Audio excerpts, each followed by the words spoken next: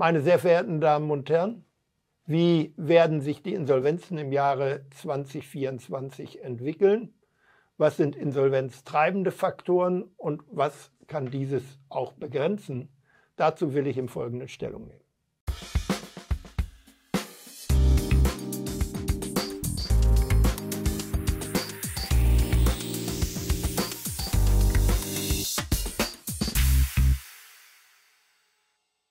Wie wird die Insolvenzentwicklung in Deutschland im Jahr 2024 aussehen? Im Jahr 2023 gab es eine deutlich gesteigerte Zahl insolventer Unternehmen im Vergleich zum Vorjahr. Wie geht das nun weiter? Prognostizieren kann man sicherlich weiter steigende Insolvenzen für das Jahr 2024.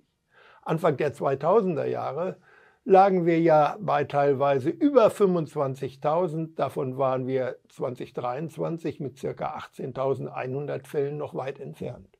Nun wird es in verschiedenen Branchen weiter eng. Je nach Branche werden nationale und internationale Konjunktur sowie aufgrund der Kriegssituationen mit entsprechenden Sanktionen volatile wirtschaftliche Entwicklungen als Gründe genannt. Auch die Insolvenzen von Start-ups haben im vergangenen Jahr in Deutschland mit über 200 eine deutliche Steigerung erfahren. Kapitalgeber schauen in unsicheren Zeiten genau hin, ob sie wirklich bereit sind, in Risiken zu investieren. Daneben werden die Marktchancen neu bewertet. Betrachtet man die deutsche Perspektive etwas genauer, so findet man jedoch viele Ansatzpunkte, die hausgemacht sind.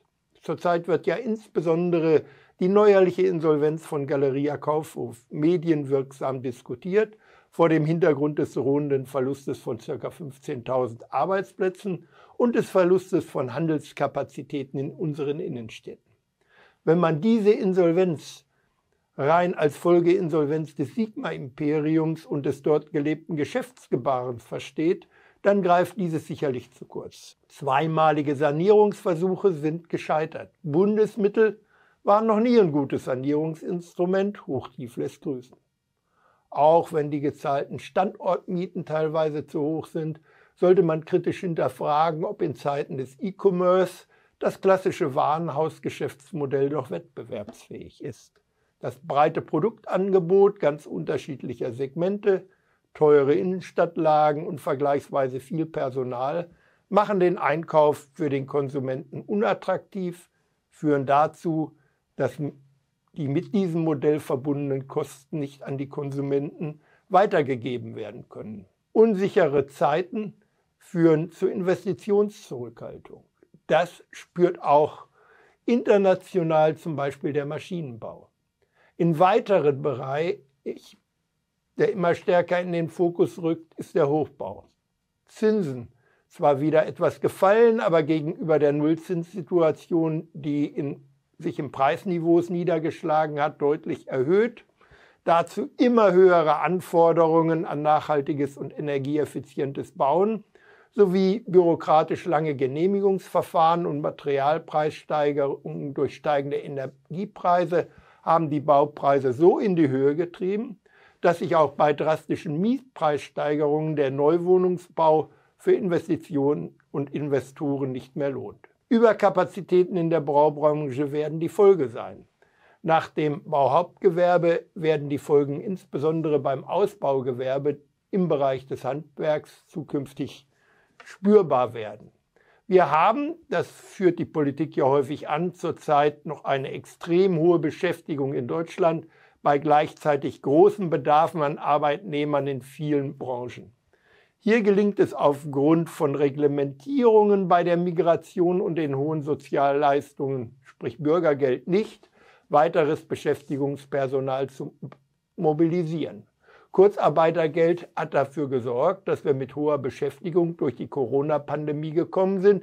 Erst einmal positiv für die Arbeitnehmerinnen und Arbeitnehmer. Die lange Dauer dieser Hilfen hat aber sicherlich auch dazu beigetragen, dass notwendige Anpassungen in den Unternehmen nicht rechtzeitig angegangen worden sind. Zumindest die internationale Wettbewerbsfähigkeit leidet darunter, Spätfolgen nicht ausgeschlossen.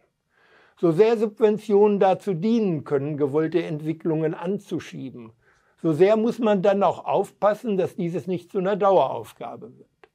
In der Tendenz verhindern oder reduzieren diese Mittel die Suche nach Effizienzvorteilen, das Erschließen von erhöhter Produktivität und Kostensenkungen. Offenbar sind ja E-Autos weniger komplex als Verbrennungsfahrzeuge.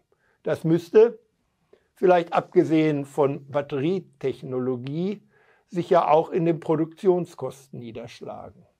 Nun wurde ja der Kauf von E-Fahrzeugen massiv gefördert. Offensichtlich übernehmen nun einige Autohersteller diese Förderanteile in die eigene Preisstellung, um den Absatz zu halten. Auch dieses geht doch eigentlich mittel- und langfristig nur, wenn wir durch diese Subventionierung des Staates einen nicht unerheblichen Deckungsbeitragspuffer für jedes verkaufte Fahrzeug aufgebaut haben. Schließlich müssten wir auch energiepreisintensive Stahl-, Papier- oder chemische Industrien betrachten. Die komplexen Strompreise mit unterschiedlichen Steuern und Rückvergütungen führen im internationalen Vergleich zu Wettbewerbsnachteilen und Abwanderungsdiskussionen in den Branchen. Lassen Sie mich als letztes Beispiel das Hotel- und Gaststättengewerbe ansprechen. Auch hier laufen die Preise durch Kostensteigerungen bei Energie, den Löhnen und den Lebensmitteln davon. Schließungen sind vorprogrammiert. Diese werden aber auch in Teilen still und leise passieren und nicht in Insolvenzstatistiken erscheinen. Gleichwohl, wir sollten auch die Branchen mit Potenzial sehen. Aufhören, die Regelungsdichte weiter zu erhöhen, zurückhaltend bei Subventionen sein und Mut zu Steuervereinfachungen haben. Dann können wir positiv in die Zukunft bei den gut aufgestellten Unternehmen sehen. Und wir sollten die aktuelle Situation auch relativieren. Von den hohen Insolvenzzahlen zur Jahrtausendwende sind wir noch deutlich entfernt. In diesem Sinne haben Sie Mut in die Zukunft. Danke für Ihre Aufmerksamkeit.